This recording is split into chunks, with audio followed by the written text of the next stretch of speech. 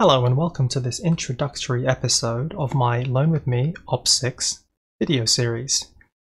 So let me tell you what I'm going to be doing and why I'm doing it. Like I suspect a lot of people out there, the discounts on the opsix pushed me over the edge to buying one. I wouldn't say it was an impulse purchase for me. I've been interested in FM synthesis for some time. I was very familiar with the opsix it seemed a little bit expensive for what you were getting, but with the discount it seemed like a good a good deal.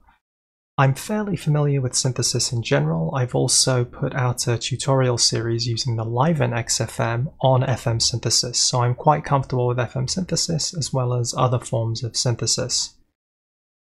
I had a look at the type of instructional content that was out there, and to me it seemed to fall into three or four categories. One of them was the sort of video manual category, where they go through every single feature and describe how it operates. The next one was sort of tips and tricks based, where it was little snippets or how to do a particular thing. Um, another one was really just patch walkthroughs. And um, the final one was more like a jam or a performance, which was supposed to be giving you some insight onto what exactly it sounded like. I thought that I would take a different approach here. Now, the tutorials I've done in the past have been done from a point of view where I already knew how to use the synthesizer quite well and I was articulating that. In the case of this synthesizer, I've read the manual completely, but basically I've just confirmed that it works. I haven't actually gone into any depth with it, and my intent is not to go into any depth with learning it, except for in these videos. So from my reading of the manual and from my understanding of synthesizers in general, I've made myself a sort of syllabus that I'm going to use to go from the basics of this synthesizer to hopefully relatively complicated sound design that I might want to use. And hopefully you might want to use too. So my goal here is to allow you to follow along with my learning process and to get a full grip on how this synthesizer works. So as a little preamble, here's an unboxing. So in the box, you get the synthesizer, you get a power supply, you get a little quick start guide, nothing particularly unusual. When taking it out, I would say I noted that it was lighter than I expected, but it still feels reasonably sturdy. Uh, this is me booting it up for the first time you can see it has the 1.0.4 firmware. This is something of a problem because a lot of new features were added in the 2.0 firmware. So I'm installing here the 2.0.1 firmware. This actually takes a couple of minutes in practice. Uh, I sped up the video a little bit so you didn't have to sit there watching it. The process was relatively painless, but in addition to updating the firmware, a new pack of factory presets were provided. With the original firmware, there were 250 presets, and those 250 presets were effectively randomly organized with the greatest hits at the front. What they've done in the new pack is they've added another 100, but they've reorganized them by type, so I think this is much, much more usable. So let me give you a quick overview of the panel and how the different parts of it operate. Um, I've already played on the keyboard a little bit, but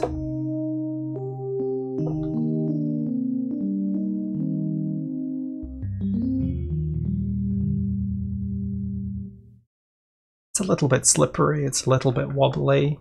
Lost the expression feels fine, no aftertouch. I would say people have spoken about it like it's awful, and that's definitely not true. It's a perfectly serviceable and usable keyboard. For some of the things that this synthesizer can do, you probably want more keys, you probably want a better keyboard, but it's not that bad. Decent feeling pitch wheel, decent feeling mod wheel. I actually quite like that I can put my fingers underneath it. It's a good place to rest while operating these wheels, so that's quite nice ergonomically. These knobs feel reasonable. Fade is a little bit wobbly, a little bit scratchy, and not quite uniformly smooth, so it could be better. Surprisingly good feeling encoder there. Um, all the encoders feel reasonable. So a little bit about the UI. Um, left-hand control section, keyboard section, um, octave shift, arpeggiator. These buttons can relate to the sequencer or to your favorites, which we'll be going through. This is the transport control. You'll notice white text and grey text. If you press a button, the white text will occur. If you hold shift and press a button, the grey text is what will happen. The display is showing you a certain context, in this case the algorithm context, and these six encoders correspond to the 3x2 array of things on the display. So the first one would change the algorithm, the second one changes the global attack, okay, and then these are the effect levels. So these are your quick performance controls. Additionally, we have the operator mixer section where the color indicates whether something is an operator or a carrier or a modulator. The faders adjust the level, these adjust the tuning. The tuning goes all the way down to 101, 128th of the pressed note and all the way up to 32x.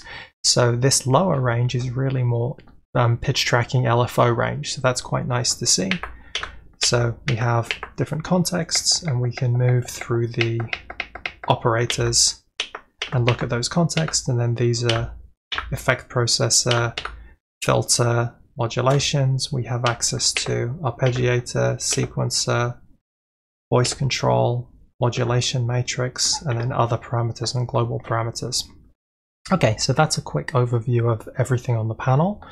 But what I really want to do today is um, spend some time going through the presets. But I don't want to just go through the presets in order. There are favorites. In particular, there are four banks of favorites, A through D.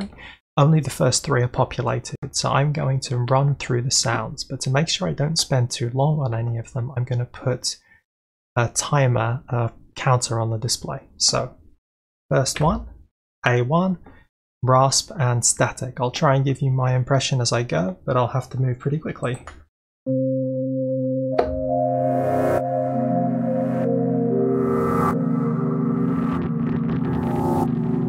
Nice movement, nice velocity sensitivity, quite an interesting and unusual sound. Definitely a good start for showing you the breadth, a lot of effects going on.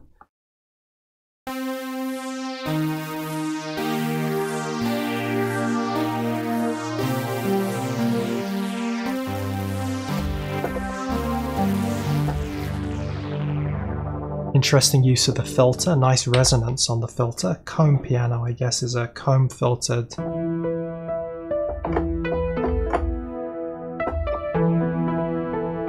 sort of honky tonk sound when you turn the modulation up. Quite interesting. Mod Storm.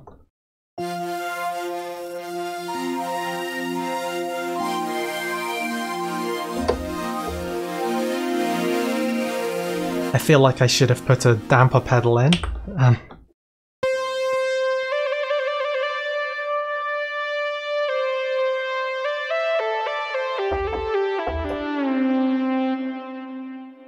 Classic lead, again, very effects heavy.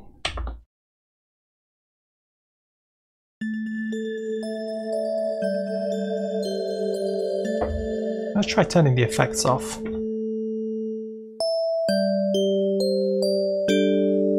Still sounds reasonable without the effects, but they do add a lot to it. Let's go.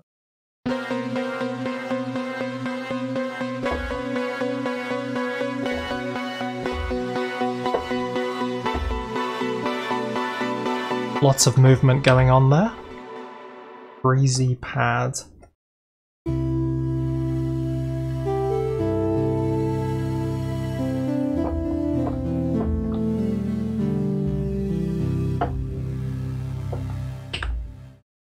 Arp swirl. The arpeggiator is on.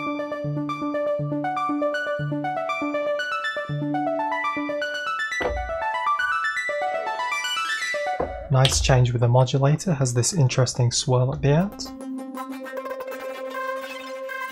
Interesting that this is not controlled by the sequencer or the arpeggiator. So it's the LFO giving us this movement. Tone wheel, I guess this is going to act like drawbars.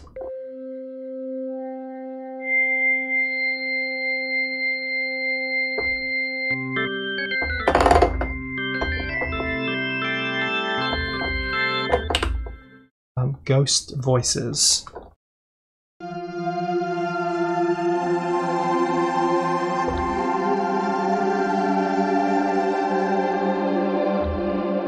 Interesting, very effect heavy. Ah, this is using one of the user algorithms, Thick Screamer.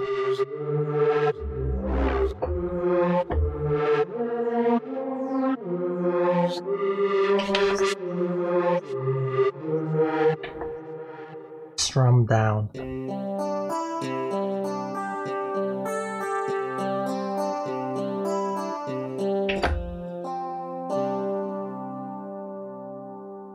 Classic FM guitar sound, very nice.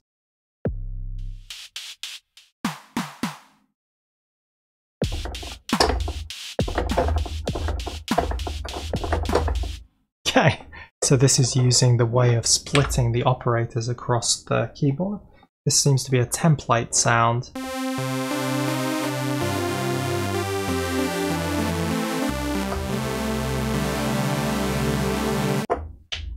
let's get to bank B. Lab coats. So let's see what this is.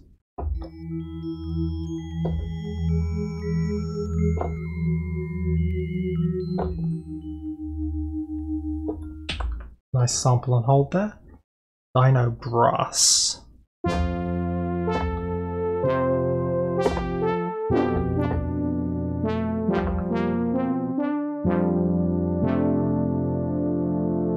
Nice soft rounded opening, pretty good.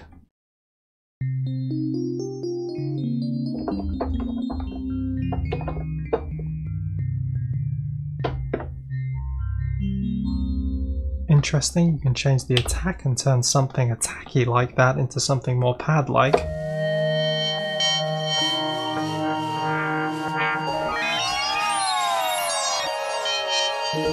So it sounds like the mod wheel is adjusting the tuning of the operators there, quite interesting. CCMM Syn lead.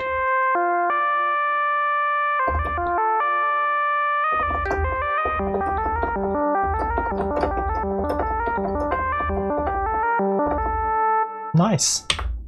Snowball.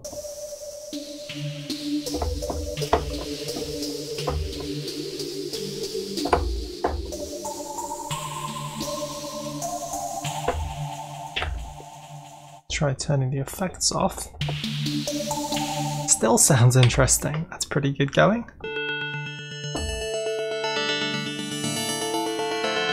Arpeggiated. Comb strings. So let's see, maybe comb filtered again.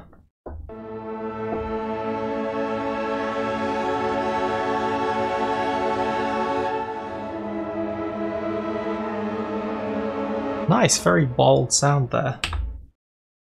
NOS or NOS.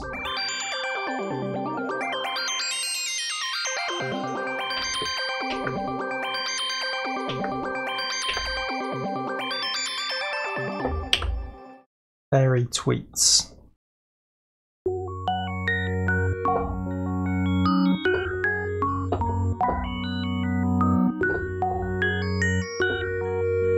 chip tuney vibe, nice use of effects, quite subtle, metallic pluck.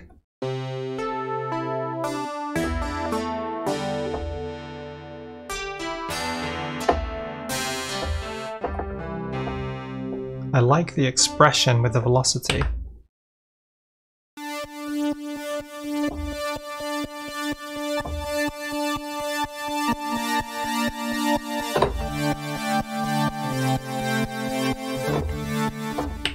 Nice big bold um, sound, nice pumping.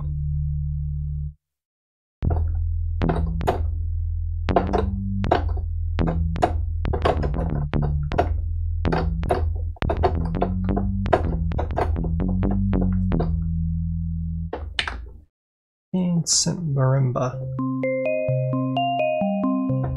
Very effect heavy, try and turn them down. Feel like the effects are hiding a lot of what it can do. Impressive bass. But I feel like the effects... Let's try.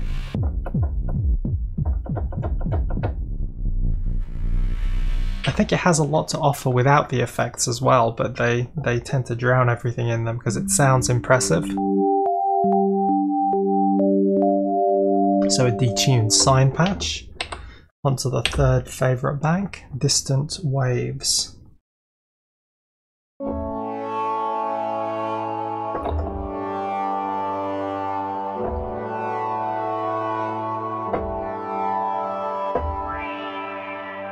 Nice, nice movement with the mod wheel. Bit stab.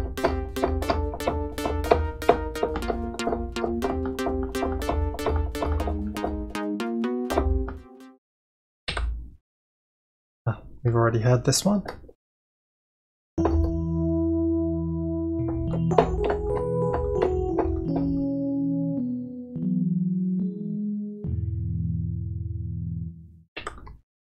cycles.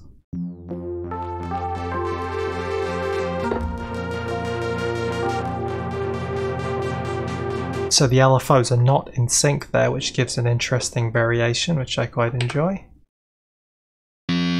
Oh, okay. Sounding like a guitar.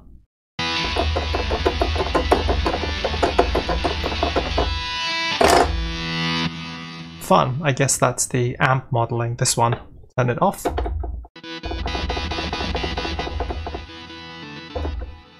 Six, shimmer and fold.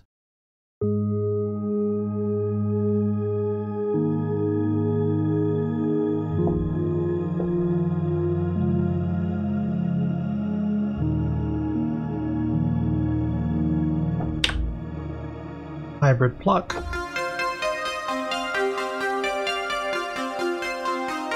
Interesting that you can hear the patches overlap as you change.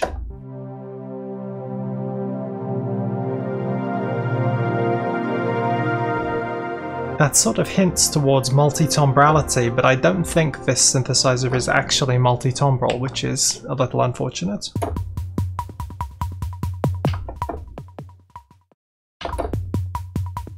So the arpeggiator's driving this. Nice timbral variation with the mod wheel.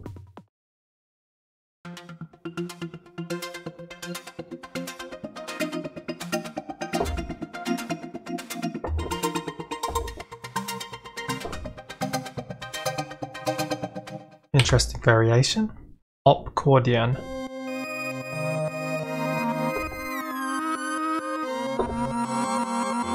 Quite unusual tuning change with the mod wheel.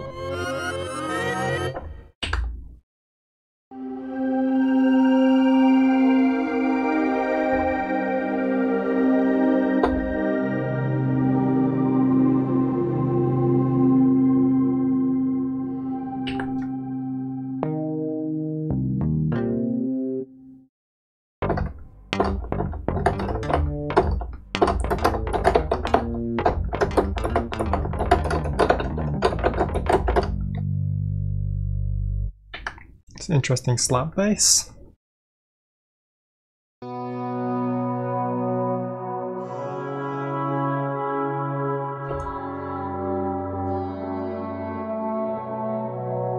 Sort of hint of a guitar there, quite like it.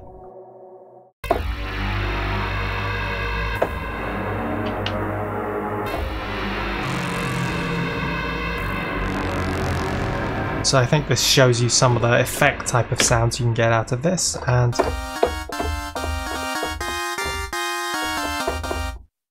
and that's a chord so I guess these are tuned to intervals. Okay so that's taken me through all of the uh, favorites. I think it's illustrated that there's a pretty broad range of sounds available. Obviously the presets use a lot of effects but I'm looking forward to really digging into the sound design here because I think it will be very fruitful and I think some of the traditional and not so traditional approaches to FM synthesis is going to yield some interesting results. So in any case, um, I'd like to say thank you very much for joining me for this video. I hope you found it useful and more importantly, I hope you're going to join me for the rest of the series as I learn how to get the best out of the opsix. But in any case, most importantly, I'd like to say thank you very much for watching and goodbye.